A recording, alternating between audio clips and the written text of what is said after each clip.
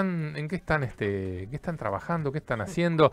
Porque sé que tuvieron, bueno, tuvieron, están con algunos este, reconocimientos, concursos, eh, vinculados no solo a impresión 3D, sino también a robótica, que es la especialidad en este caso de Gigi Rocha Díaz, ¿no? Así que bueno. Dale, sí, la verdad que un placer. Este, me contaron que te llegó un video institucional que desarrolló Colido Argentina con motivo de nuestra participación en el Premio de Arte Itaú. La verdad que venimos de un año de trabajo excelente junto a Colido Argentina. Y bueno, como dialogábamos con vos, viste que yo tengo no solamente la capacidad de hacer desde lo técnico, sino también tengo una formación pedagógica. o sea, vos educación vinculado a lo que tiene que ver con robótica, electrónica, programación, o sea... Sí, pero te cuento porque este es un vínculo fantástico, ¿no? Realmente, ahora, ahora les voy a contar un poco lo interesante de esto. Sí.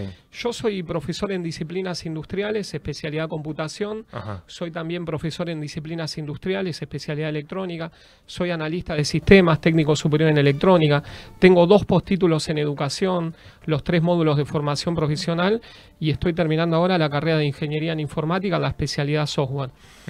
Soy desarrollador de la primera carrera corta en América Latina sobre robótica, diseño y aplicación. Acá están dos libros que, de los cuales soy autor. Y resulta que, bueno, en 2018 que tengo el honor de que la ciudad de Buenos Aires destacó mi trabajo en tecnología. Tuve también el honor de que la señora ministra de Educación, el, jefe de gobierno participaron de una actividad donde estaba capacitando en robótica. Y siempre voy creciendo en los objetivos, ¿no? Yo soy capacitador del ente oficial de la Ciudad de Buenos Aires para los docentes, que es la Escuela de Maestro. Después te voy a preguntar sobre eso. Pero porque totalmente. Me parece, me parece que está buenísimo, pero también entender, yo recuerdo que hace cuatro o cinco años los docentes no tenían email. Eh, de ahí a enseñar robótica debe haber todo un... Bueno, es que para mí también es un placer y creo que, desafío, ¿no? de ahí el honor de que la ciudad haya destacado mi trabajo, porque como vos decís, ¿no? En un área que tal vez fuera tan sensible, ahí está lo bueno y la excelencia de mi formación, no, no solamente desde lo técnico, la ingeniería, sino también desde la parte docente. Pero la verdad que mis colegas, los profes de la ciudad, son fantásticos. Claro. El, la voluntad que ponen, las ganas, ¿viste? Y todas las cosas lindas que llegan, ¿no? Porque yo tuve el honor también de que el año pasado hicieron un video institucional desde Escuela de Maestros para que le llegara a la señora ministra de Educación y a mí me eligieron para, para expresarme a través de Escuela de Maestros, ¿no?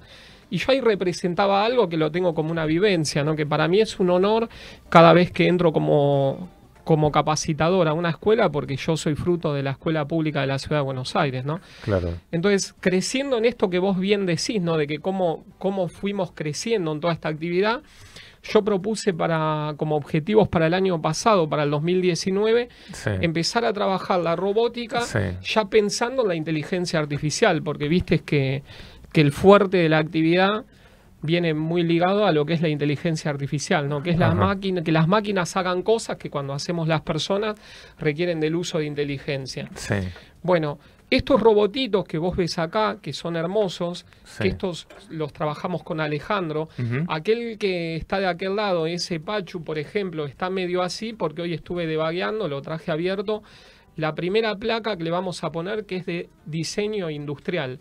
La firma también Meyer Sociedad Anónima, la verdad que se interesó en este proyecto. Ya las placas no son solamente prototipos, sino que son placas industriales. Bueno, estos robots entonces, digamos, ¿para qué fueron hechos? ¿Cuál es el objetivo y quiénes lo usan? Sí, a, eso iba. Este, entonces el año pasado, con todo este objetivo por delante, yo tengo doble formación en electrónica e informática. Claro, y fíjate que se presenta este desafío también, el diseño, el modelado, la impresión 3D.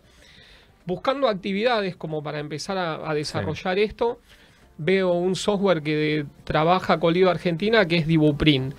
Y como vos decís, viste, buscando la forma de facilitarle a mis colegas la actividad, levanto el teléfono, cuando eso también el año pasado yo coordinaba dos distritos del plan de robótica educativa de la provincia de Buenos Aires. Y esas cosas que, que, está así en el destino de lo que tiene que hacer, el que levanta el teléfono del otro lado es Alejandro. Claro. Entonces me presento, le conté lo que yo hacía, él se interesó también y le propuse de empezar a vincularme con ellos como partner, ¿no? Yo necesitaba una impresora 3D, necesitaba recursos y Alejandro se interesó y, y bueno, él a través del directorio de Colido decidieron tomarme como partner, ¿no? Me dieron una impresora Colido 3.0 que la adoro. Este, y aparte, bueno, empezar a trabajar en, función de eso. El fruto de esa actividad fue estos robots humanoides que vos ves acá. Que los robots, yo les puse Pachu por mi hijo más chico, Juliano Rocha Díaz Presali.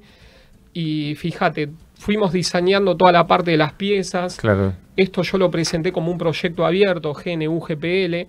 O sea que inclusive el año pasado los profes de la ciudad ya estuvieron trabajando armándolo, programándolo. Esto tiene un sistema de placas que es Arduino, o sea que todo está abierto. hasta imprimiendo algunos. Sí, imprimiendo también. Exacto, muchos. Está fantástico lo que dice Alejandro. Muchos a través del entusiasmo de todo esto conocieron lo que es la impresión 3D. Aparte, fíjate qué hermoso el proyecto, ¿no? Porque eh, tiene, integra todo. Tiene electrónica, tiene programación, tiene 3D, integramos la parte de arte. Y bueno, y justo yo estaba en misiones que acá hay otra cosa que te quiero destacar de esto que vos decís, ¿no? Que eh, uno de los padres del robot de Pacho es Colido, ¿no? Desde el punto de vista de la industria, acompañando la educación. Nosotros ahí encontramos una aplicación más, eh, eh, más operativa, más ejecutiva, más, más tangente de, la impresión 3D. Claro. fue parte de, por eso enseguida nos, nos sumamos al proyecto. Y, fue buenísimo, como él dice, ver después a los, maestros, a los profesores, eh, empezando a interesarse en la impresión 3D, a, tomar el primer contacto. Y, bueno, lo están aplicando ahora en la robótica, que están empezando a sumar en todos los, en todos los eh, programas educativos, están empezando a agregar robótica. Y aparte, fíjate la bendición de esto, ¿no? Que, que, que, uno lo entiende de esta forma. Yo al haber trabajado en la industria, aparte de tener actividades en educación, que ves actividades como esto de escribir, de estar vinculado, yo me inicié en la tecnología a los 13 años operando sonido, terminé siendo jefe de taller.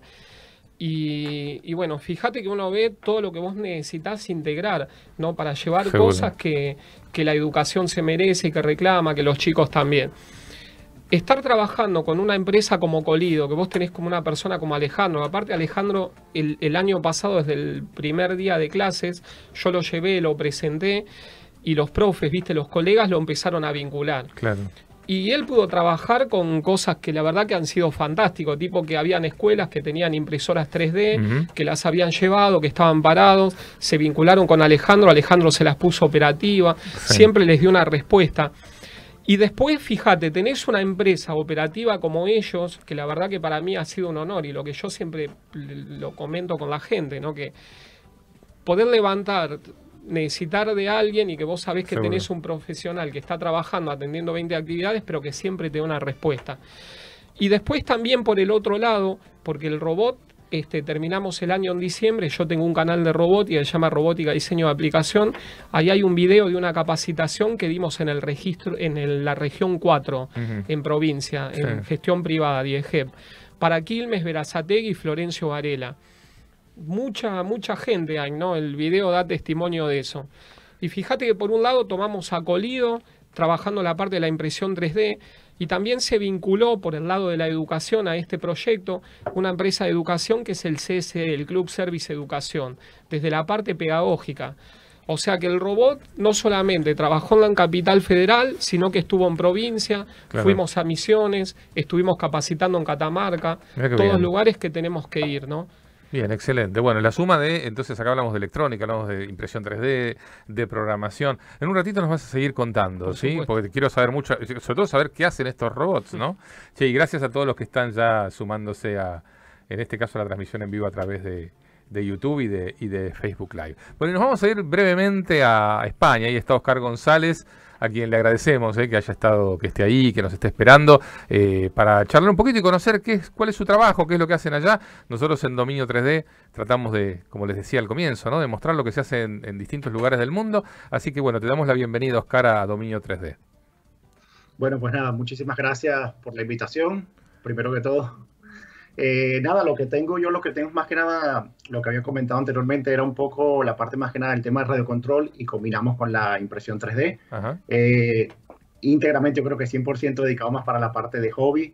Eh, la parte de impresión 3D en España ha hecho un salto en los últimos cuatro años, ha avanzado muchísimo. yo no sé si es por el tema de la conexión, tener lo que son estar la parte de comercio con China, ¿verdad? Que las importaciones se hacen sumamente sencillo. Creo que a diferencia de lo que es el caso vuestro, el caso con Argentina, que se complica un poco el tema de las importaciones. Acá, acá, es, todo complicado en Argentina. sí, ya lo sé, ya lo sé. Estoy enterado por muchísimos suscriptores del canal de YouTube y nada, eso. Bien, eh, ya que mencionaste el canal de YouTube, ¿vos tenés un canal en YouTube dedicado a esto? Sí, inicialmente era por el tema enfocado al tema de radiocontrol, que es el hobby que llevo desde los 10, 12 años. Claro. Pero desde hace un año, dos años he ido combinando, subiendo un poco más el nivel con la parte de información 3D. Eh, muchos del tema de la parte de drones estaban comprando las impresoras para fabricar piezas, como el tema de, no sé si se ve aquí ahora en pantalla, estos son los pequeños chasis claro. para los microdrones de carrera. Eh, no tener que esperar las piezas de China, poderlas fabricar en, en PTG, en el mismo PLA aunque no es resistente al 100% como todos sabemos. Claro. el, tema de, fundas para las cámaras, para proteger las cámaras en filamentos flexibles, en TPU. Eh, y al final eso, pues decidí incrementar un poco más lo que son la parte de las publicaciones en el canal con ayuda a toda la comunidad con la parte de impresión 3D. Claro, vos siempre te dedicaste al tema de los hobbies, de radiocontrol, es algo que venís hace tiempo, eh, calculo que antes de la impresión 3D, ¿no? Sí, lo que es la parte de radiocontrol, aviones, eh, los carros radiocontrol desde los 10, de los 15 años aproximadamente.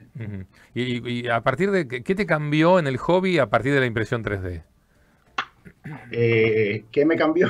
que las impresoras terminan absorbiendo muchísimo tiempo. Ah, a ver, sí, lo que fue la primera parte de intentar dejarlas, lograr conseguir lo que siempre digo, pues dedicarle el tiempo para conseguir el, el punto exacto para conseguir buenas impresiones con buenos acabados eh, ¿Qué me cambió? Nada, que al final hay muchísimas cosas que necesitamos, tanto la parte de radio control, necesitamos, eh, gracias a las impresoras, sacar, nada, no sé, muchísimas piezas que al final tendríamos que esperar o tener que comprarlas, podemos sacarlas en casa, diseñarlas en cuestión de un par de horas y ya podríamos tenerlas listas para, para salir a probarla. Yo nunca me dediqué al tema del hobby o radiocontrol, pero entiendo que, por ejemplo, en el caso de los drones o los aviones a radiocontrol, incluso están en, vehículos, la posibilidad de que algo se rompa es bastante grande, ¿no?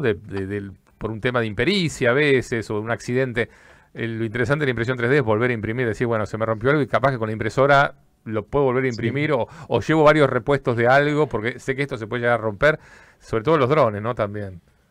Sí, correcto. Lo que era el caso de este chasis pequeñito que se ve aquí en la palma de la mano, eh, puedes llegarlo a romper mientras sales a volar una tarde o bien sea en un club de vuelo sales a volar, te llevas un par de chasis adicionales en la mochila, lo que sería es trasplantar, hacer la mudanza de toda la electrónica en cuestión de como mucho 15 o 20 minutos ya estarías volando nuevamente. ¿Y esto lo usas para, para vos, para tu hobby o también sos proveedor? O sea, fabricás piezas que, no sé, vendés. ¿Cuál es tu principal no, yo lo que es íntegramente la parte la tengo totalmente para hobby. O sea, siempre hay alguna que otra pieza que te puedan pedir algo, el círculo siempre de, amigos conocidos, de pilotos que están alrededor de uno, pero al final lo termino dedicando más para hobby. Y en el tema de los, de los, hobbies, ¿ves crecer la impresión 3D o el, o el hobbyista todavía sigue pidiéndole, o sea, están incorporando la impresión 3D? Eh, como parte de su, de, su equipamiento o la gente que está en el hobby todavía sigue pidiendo imprime esto, comprar lo otro o, se van de a poco animando a esto? A ver, hay muchos que están un poco renuentes a meterse con el tema de la impresión 3 por lo mismo, porque saben que termina absorbiéndote, termina eh, o abandonando un hobby o el otro por dedicarle más tiempo a las impresoras. Pero sí, sin duda, o sea, siempre al final tener la impresora 3 te va a dar un, un valor añadido por eso, sacar las piezas en casa y no tener que estar dependiendo de un proveedor. Claro, entiendo. Bueno, acá estamos justo con uno de los invitados que es Gille Rocha Díaz, que está acá, no sé si ves en la mesa moviendo con su, desde su celu. Para compartir con vos, Oscar. Este es un robot futbolista que el lunes largamos una capacitación intensiva para los docentes de la ciudad. Y fíjate, acá desarrollo también la aplicación de control desde el celular. y, la, teléfono, y la base, exacto, esto tengo una placa Arduino, un dispositivo de Bluetooth, un puente H es toda la electrónica que necesita y el soporte de todo esto es impresión 3D. Es, impreso, es correcto. Sí, trabajamos la parte de la palita, después trabajamos este soporte para los motos reductores y la batería y le damos control. Mira qué bien. Bueno, es casi estamos hablando de, usos o, dispositivos similares, ¿no? O sea, estamos hablando acá ya de radio control, pero en este caso a través de un celular y de una electrónica bastante simple y una impresión, o sea, algo bastante, digamos, no Sí, enlaza al dispositivo Bluetooth con el control de la placa, amplificamos corriente, con tres componentes ya tenemos este robot. Mira, ¿qué, tenés ahí, este Oscar, en la mano? Sí, esto es algo, esto es mítico. Yo creo que muchos de los que tienen impresoras en 3D han sacado el, el famoso mini tractor este que se lo estuvo imprimiendo a los peques aquí en casa. Es lo que comentaba él, con un par de servos, motor, una batería muy pequeña, lo puedes echar a andar en, en cuestión de unas horas después de poder sacar los archivos y empezarlos a imprimir. Bien qué ¿Cuánto acelera la impresión 3D, el desarrollo, la creatividad? ¿no? Que vos digas, se me ocurrió tal cosa y quizás lo puedo llegar a diseñar y, tener un producto al, en dos o tres días. Es que es fantástico. que Mira, compartiendo y dándote un aporte, nosotros teníamos que la parte del soporte, ¿ves? Para este robot que está acá nosotros usábamos estas patas que son separadoras, que son metálicas. Esto, claro, esto es metálico o es una aleación, esto tiene un costo alto, le agrega peso. Fíjate que de una forma muy simple, hace unos días lo que hice es, me diseñé este cilindro, ¿ves? Tomé la misma medida y fíjate que reemplacé piezas que antes eran metálicas, que tenían un costo alto, que eran pesadas, por un dispositivo que funciona totalmente igual desarrollado en impresión 3D. Y esto es bueno, teniendo la impresora, uso la Colido 3.0. Yo, yo sigo creyendo, creo que alguna vez se hablamos, acá se ha hablado muchas veces. El tema de para mí, si evoluciona como tiene que evolucionar, va a terminar siendo un electrodoméstico la impresora 3D. Correcto. Ojalá en algún momento. Todavía, tiene una curva de aprendizaje que lo hace más, más lejana. si evoluciona como en, en, la dirección que viene evolucionando, va, a terminar siendo eso. Bien. Ojalá. correcto, perdón que interrumpa. Es lo que se hablaba aquí hace una semana, lo estaba comentando con una persona, y es eso, que al final en todas las casas eh, va a llegar un punto que se va a terminar eh, adoptando una impresora 3D al final eso, para poder sacar cualquier pieza que no querramos depender de un servicio técnico. Es que hay muchísimo. Aquí hay una marca de España, están sacando unas impresoras realmente súper pequeñas para tenerlas como en la parte de la sala, en la parte de las cocinas súper... La No tiene que ver nada con... No, la, la Volad. Sí, hay impresoras sumamente pequeñas, pero enfocado más como a un público que realmente se quiera iniciar, pero no para gran escala, sino lo que estamos hablando, que al final va a haber una impresora en cada casa, en cada hogar, de aquí a un corto plazo. Sí, la Volad, esa viene, cada vez que vos compras el, el filamento, viene con el cabezal nuevo. Ajá por eso no hay opción de que no funcione ese tape o que nadie tenga que andar tapándolo. Te venden el filamento con el cabezal incluido. Ah, claro, o sea que para evitar el problema. Quita y pon, lo sacás y lo pones completo. Bien, bueno, Oscar, decinos cuál es el. No, ¿Cómo se llama tu canal para los que quieran ingresar? eh, Oscar Go 9. Oscar Geo de, eh, de González y el número 9. Bien, bueno, muchísimas gracias eh, por esta comunicación. ¿En, qué ciudad pues estás ahora? ¿En qué ciudad estás? Eh, yo exactamente al norte, a Asturias. En Asturias, la parte norte, en Gijón. Bien, bueno, muchas gracias por la comunicación, Oscar. Pues nada, gracias a ustedes por la invitación. Era el señor Oscar González, eh, desde Asturias, en España. Nosotros ya venimos. En Filamento Ya vas a encontrar variedad y un amplio stock en material para impresión 3D. Despachamos en el día a todo el país.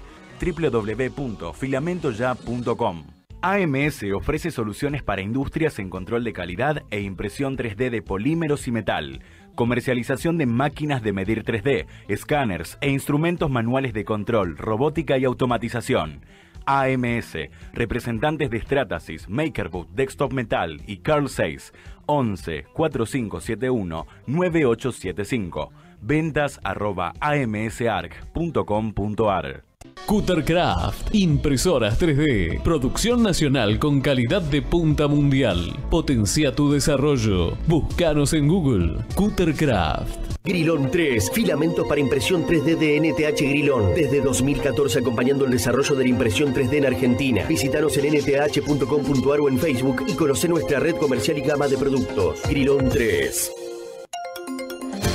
En ProSoft vas a encontrar calidad y variedad en racks, tipo mural o pie, compatibles con métrica ETI, estándar internacional de 19 pulgadas y norma ROS. ProSoft 011 3220 7134 www.pro-mediosoft.com.ar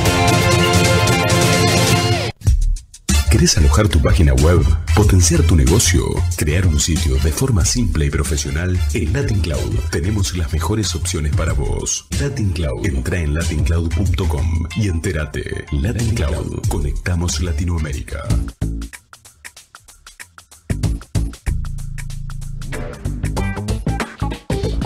Bueno, seguimos aquí en Dominio 3D con nuestros invitados del día de hoy, ¿eh? con Alejandro Campos de Colid y con Gille Rocha Díaz, referente y desarrollador de robótica, hablando de estos robots que justamente, eh, en el caso de Alejandro y Gille, unieron fuerzas, ¿eh?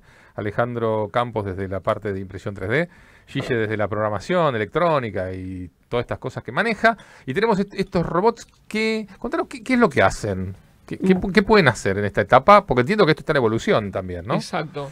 Bueno, fíjate, esta, esta versión es una versión de este robot que lo llamamos Pachu Junior.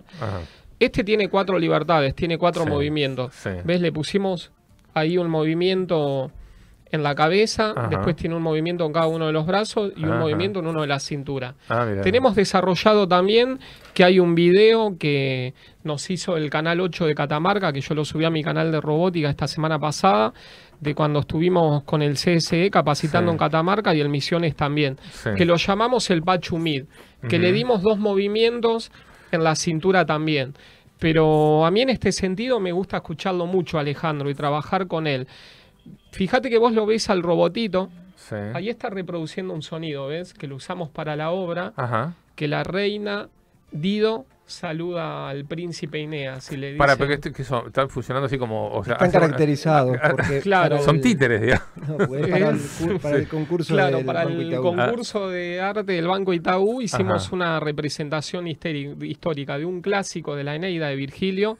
Ella es la reina Dido y él es el príncipe Eneas, sobreviviente de Troya. Entonces el audio que vos escuchás, la reina Dido ah, le dice, le está diciendo, claro, salve Príncipe Eneas, sobreviviente de Troya, le dice. Claro. Y bueno, esta es la versión del Pachu Junior, que le dimos cuatro libertades. Después hicimos una versión que le pusimos el Pachu Mid, que tiene dos movimientos. Ahí la hice bailar esta tarde. Eh, claro. Este, y después este año, el desafío, como hicimos el año pasado, un poco tiempo, el desafío de desarrollar este dispositivo, ya estamos trabajando con Alejandro como para hacer la versión que le vamos a llamar el caminante. Ajá que directamente es el dispositivo que camina. camine. Claro. La aceptación de esto, como vos bien decías, de los dispositivos que armaron los profes y que llevaron a las escuelas es hermosa. A veces uno las cosas que están los chicos, viste, por una cuestión de edades, no las puede comunicar muy directamente, ¿no? Pero yo tengo fotos que me mandaban los profes que, por ejemplo, ¿te acordás, sale del primer profe que te fueron a comprar el material? Algunas de las profes deciden empezar a armar unos pachus de color rosa. Y una de las profes de tecnología le pregunta a los chicos que escriban al terminar el año qué es lo que más les gustó de la tecnología. Lo tengo al dibujo hermoso. Una nena dibuja el robotito, el Pachu rosa, y dice, me gustó cuando trajeron a Pachu, el robot. Ese tipo de cosas, ¿no? ¿Y los chicos qué pueden hacer con esto?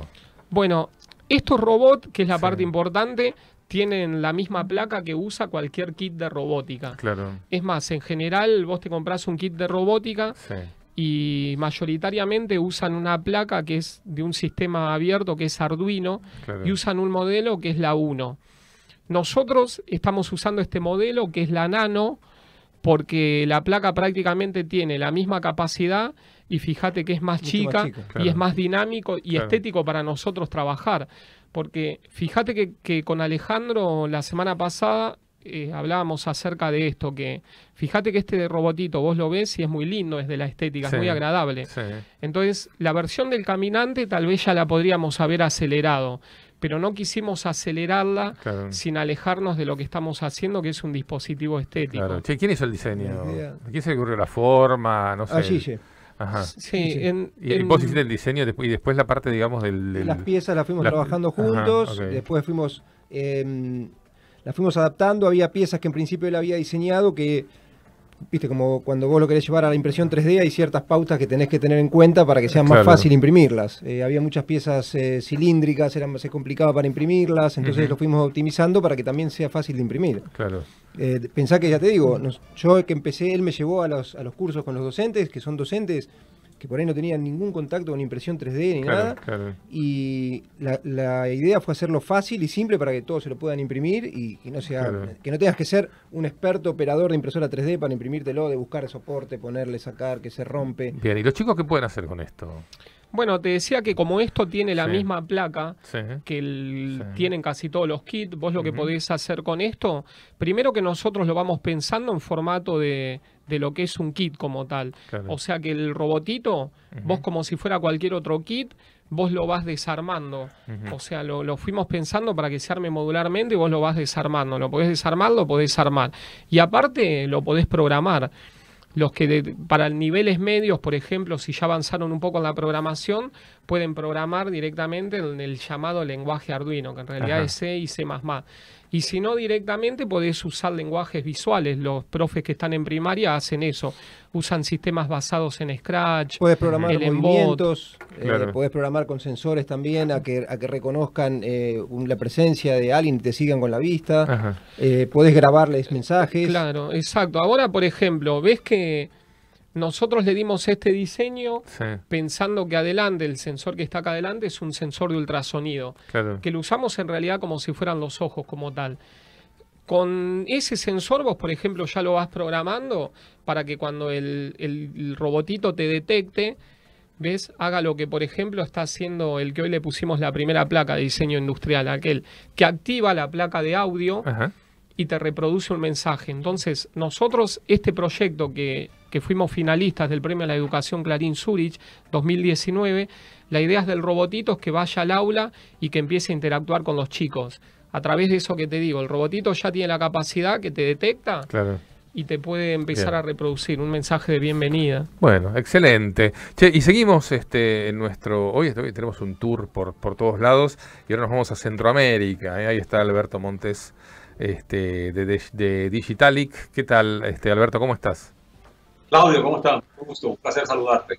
Bien, bueno, muchas gracias por, por, estar ahí, por acompañarnos en Dominio 3D. Eh, contanos cómo, está, a qué se dedican ustedes y, cómo está la impresión 3D en Costa Rica. A ver, Claudio, claro, eh, nosotros somos una empresa, la empresa se llama Digitalic, somos una empresa que se especializa en fabricación aditiva, impresión 3D, ¿verdad? Pero al mismo tiempo representamos varias marcas. Nosotros distribuimos la marca que es Ultimaker, eh, Singdo, que es una marca eh, coreana.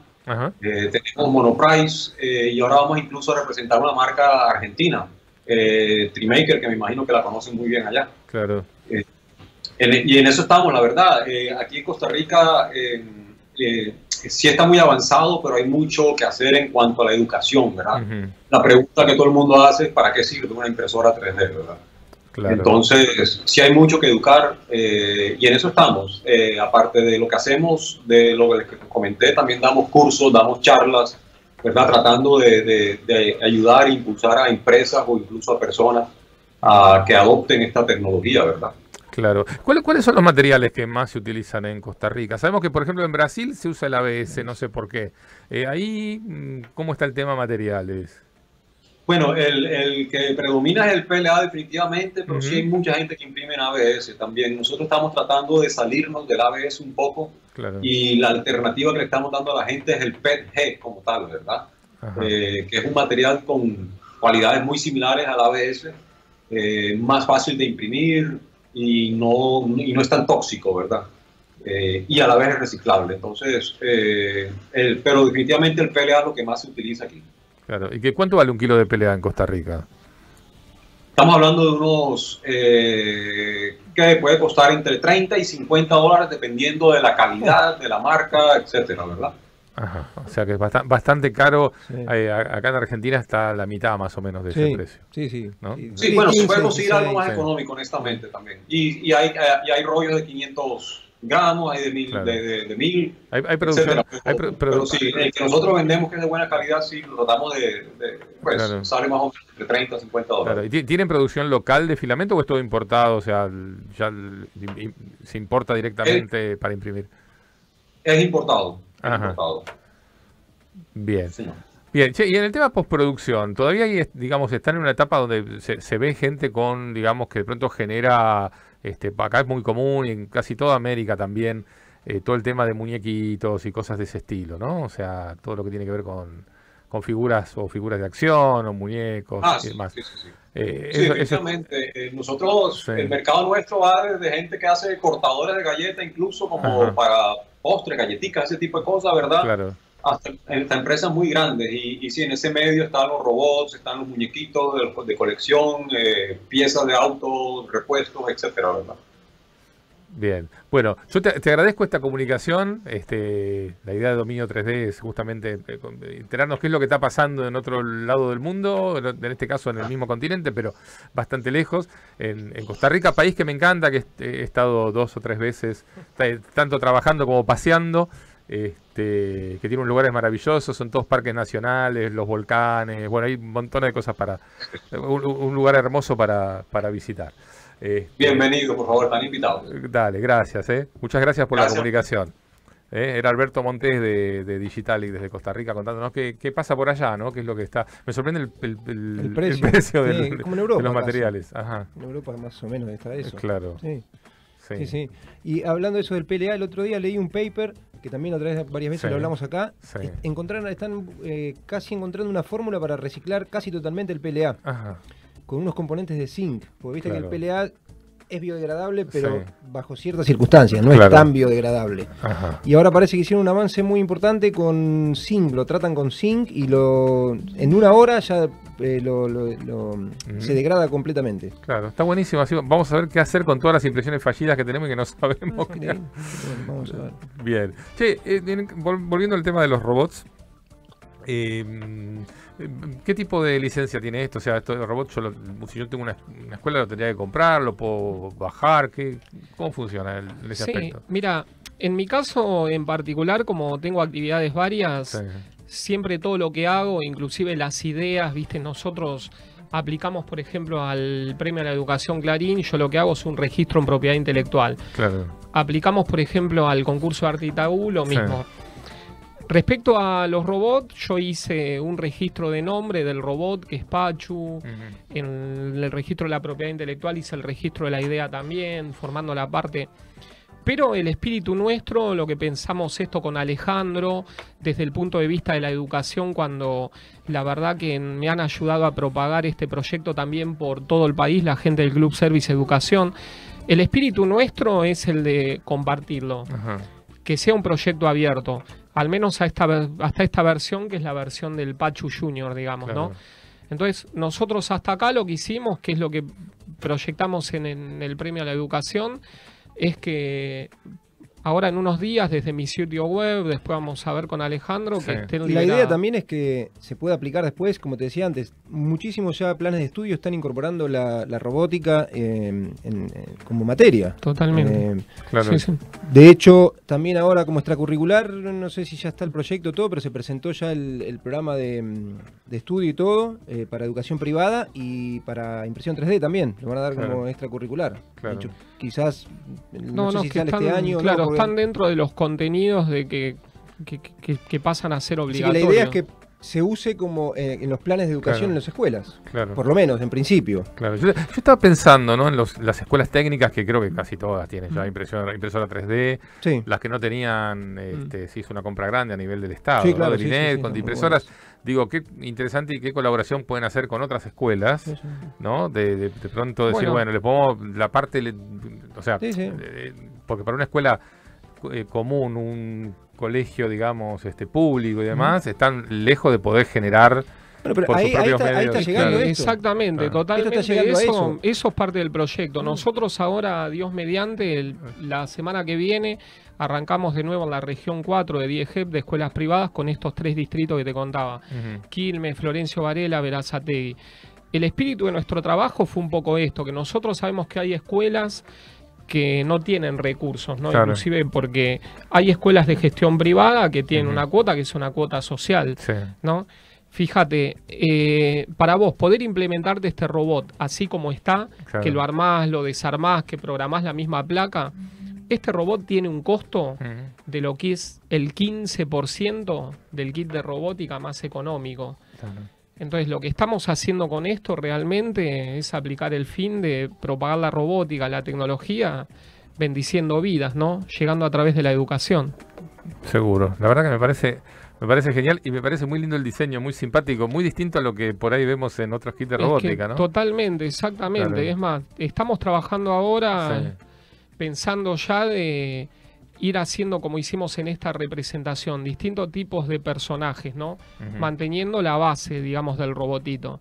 Pero vemos por la gente, por los grandes, por los chicos, el impacto que te genera, ¿no? Y eso que te decía, por eso con Alejandro tal vez ya podríamos haber resuelto la versión de que caminara. Pero no queremos hacerlo alejándonos de lo que hemos llegado hasta acá, que sea un dispositivo lindo, agradable, alegre, ¿no es cierto? Sí, la verdad que, es muy lindo. Me, gustaría tener uno de estos ahí, no sé para qué, pero caminando. me, voy a imprimir uno. en el Centro Metropolitano de Diseño de la ciudad dejamos uno que está en exposición permanente y en el Museo de la Informática también. Podríamos adoptar uno de mascota acá para el programa. Te vamos, te vamos a mandar uno ya.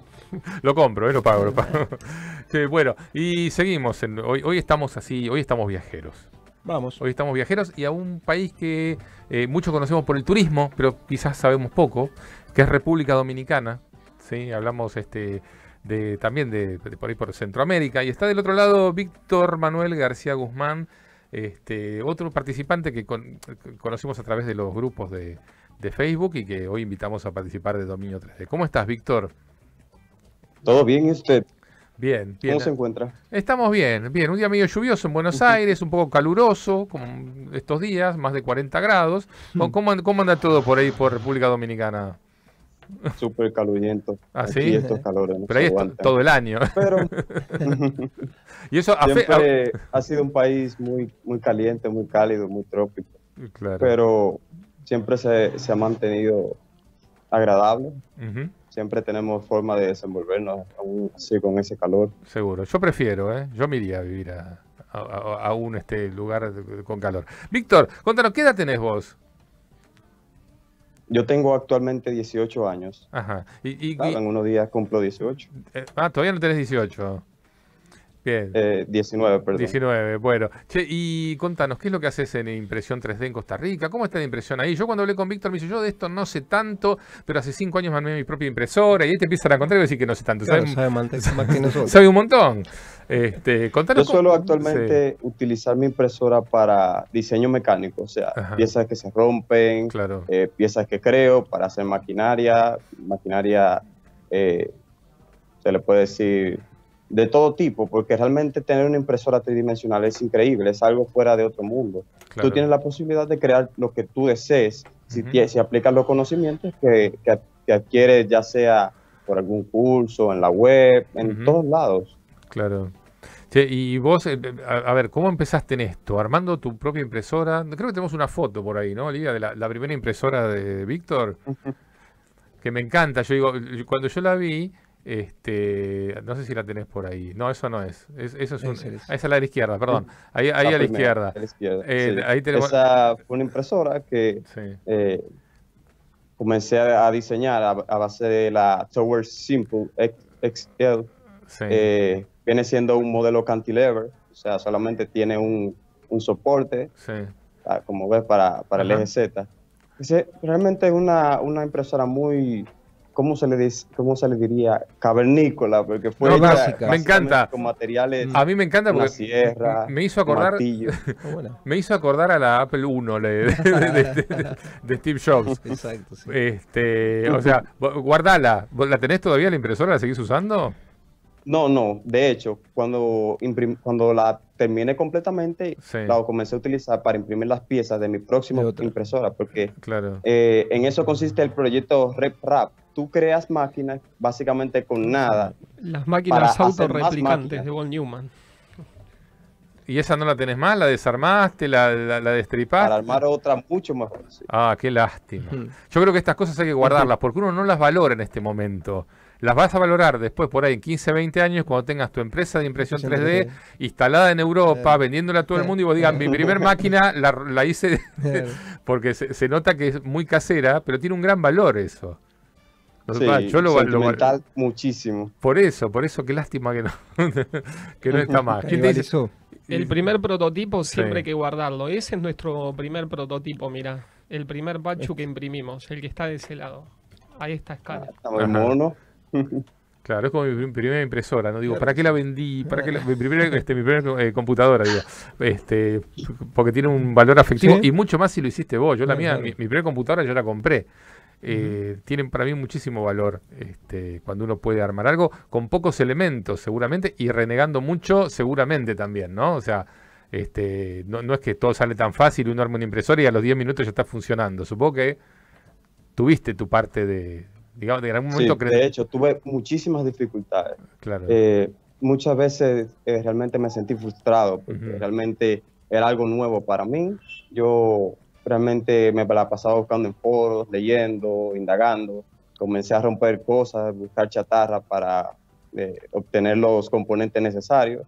Alguna partecita la compré, sí, pero básicamente en ese entonces yo realmente no tenía recursos ni nada, que, ni alguna amonestación que me ayudara a construirla. Y yo realmente lo quería porque siempre había sido una pasión para mí eh, construir cosas, la robótica, la mecánica, la electrónica. Siempre he sido influenciado por eso por esas, esos conocimientos. Claro. ¿Y en República Dominicana hay donde comprar todo lo que necesitas para tener una impresora o las impresoras son importadas? ¿Hay fabricación local? Absolutamente nada. Nada. Lo único que se puede hacer es comprarla por eBay y esperar a que te llegue mediante un courier, un sistema de courier. Claro. Pero realmente es algo súper caro. O sea, algo que no todo el mundo puede tener. Y personas de muy acceso, de muy, de muy bajo acceso a, a lo que es eh, los, los servicios virtuales como eBay, Amazon y así no pueden tener una. Claro. Sí, ¿Cuánto vale un kilo de filamento de PLA, por ejemplo, ahí en República Dominicana? Actualmente un kilo de, PLA se encuentra entre los 15 dólares, eh, de 15 a 30 dólares, pero, pero hay un tema un poquito confuso, un poquito enredadizo aquí, porque el, filamento no te llega directamente a ti, sino que tú tienes que pagarle un servicio para que te lo traiga. Entonces ya viene subiendo a los 40, 45 dólares más o menos. Claro, o sea que todo, es todo, todo cuesta más, todo es más difícil, por eso también tiene tanto valor lo que puedas hacer ahí. Contanos qué, qué es el hacha esa que vimos en una foto al lado de la impresora. Esa actualmente es, es Rita. Rita es, es, una hacha de un anime, de una serie muy vista en, a nivel mundial. Eh, o sea, esa, esa hacha me la, han encargado a mí para yo realizarla. Y nada, me, me, tocó hacerla. El, es del anime Nanatsu no Taizai. Claro. O sea, los siete pecados capitales. Ajá. Bien, o sea que ese es un trabajo que te encargaron. O sea que parte de, de, lo que estás haciendo ahí tiene que ver con esto, ¿no? Con que con vender lo producido por, por, por tu impresora. Sí. Exacto. y además de esto, o sea, a futuro, ¿cómo, te vas a dedicar a alguna, algo vinculado a impresión 3D? ¿Lo ves como una posibilidad laboral ahí? Actualmente quiero dominar todos los campos. Quiero dominar no solo lo que es el servicio de impresión tridimensional, sino quiero, quiero también abarcar mucho, mucho más. Quiero irme al tema de, de reparación, de servicio, de venta de impresoras, abarcar absolutamente todo lo que es impresión tridimensional, desde el nivel de robótica hasta lo cotidiano, que ya sea reparación de, piezas plásticas y, algunos otros servicios que, se, que se encuentran disponibles dentro de la plataforma. ¿Y hay, empresas ahí en República Dominicana que hagan todo esto? ¿O poquito? ¿O están mm, empezando? actualmente están creciendo. O sea, no es como que haya consolidado empresas. Claro. Bueno, creo que se, nos, cortó la comunicación. Bueno, se, nos cortó eh, la comunicación que teníamos con Víctor Manuel García Guzmán. Eh, ¿Ahí volviste? ¿Estás, ¿Estás ahí de nuevo? ¿Hola? No. Hola, hola. Bien, bien. Por un momento habías quedado, habías quedado frisado. Bueno, Víctor, yo te agradezco muchísimo esta comunicación. Eh, te felicito por todo lo que, lo que estás logrando, avanzando, sabiendo que por ahí las condiciones no son las ideales, como decís, ¿no? Que todo, todo cuesta más, hay que conseguir los materiales, hay que conseguir equipamiento. Pero bueno, todo este esfuerzo creo que vale la pena y te deseo desde acá, desde, desde Buenos Aires, lo mejor, lo mejor y creo, creo que vas a hacer una gran carrera en todo esto. Yo también lo espero. Muchísimas gracias por invitarme al programa.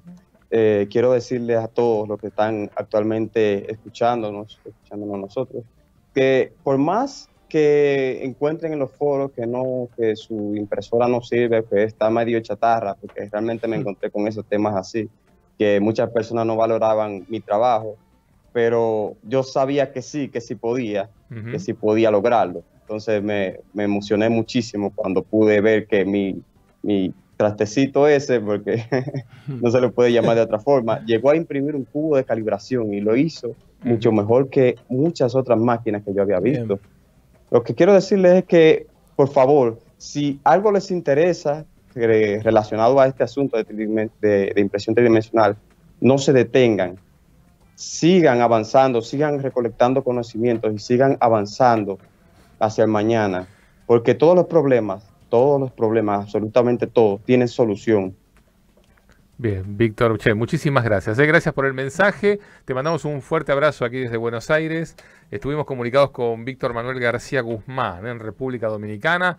Eh, para mí una alegría y un ejemplo. Porque, digamos, este, no, trabaja en las mejores condiciones. Y aparte una vocación, es la vocación maker. Sí, claro. Es que se llama, que le dicen. Porque fíjate que contra todo va y tiene esa vocación de maker y bueno, dos maderas, creo que era de, me parece que era como de fibro fácil la carcasa y todo, y sin embargo... Sí, sí, sí, A mí Esa es la vocación maker. a mí me encanta la gente con, que tiene una pasión por algo. Que es la misma pasión que se nota en ustedes, ¿no? En lo que hacen. Que se nota acá en Gille, que se nota en Alejandro. Este, la pasión nuestra por mostrar todo esto. Digo, creo que las cosas progresan y surgen cosas interesantes justamente cuando se juntan muchas pasiones y ganas de hacer las cosas y de, y de quedarse horas y horas y no dormir y, y quemarse las pestañas para para poder hacer algo. Bueno, che, ya nos quedan poquitos minutos del programa. Si alguien quiere eh, averiguar un poquito más sobre estos desarrollos, sobre lo que ustedes hacen, ¿dónde los pueden encontrar? Bueno, eh, yo tengo un canal de robótica. El canal de robótica está en YouTube. Se llama Robótica, Diseño y Aplicación. Ahí es más, a esta emisión de programa también la voy a subir al canal. Al igual que vos mostraste, yo tengo muchos amigos que están en España. Desde acá tuvimos el honor de que me contactaran unos amigos de México que son ingenieros en mecatrónica.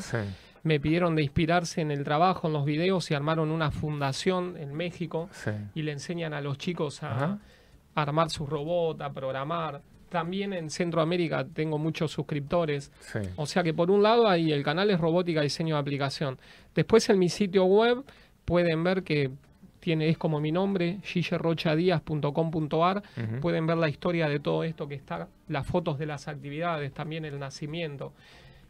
Y cosas muy interesantes como lo que vos contabas, ¿no? De que qué lindo ver que esto se puede hacer. Viste que vos me contabas cómo veías la actividad dentro de los docentes, la tecnología.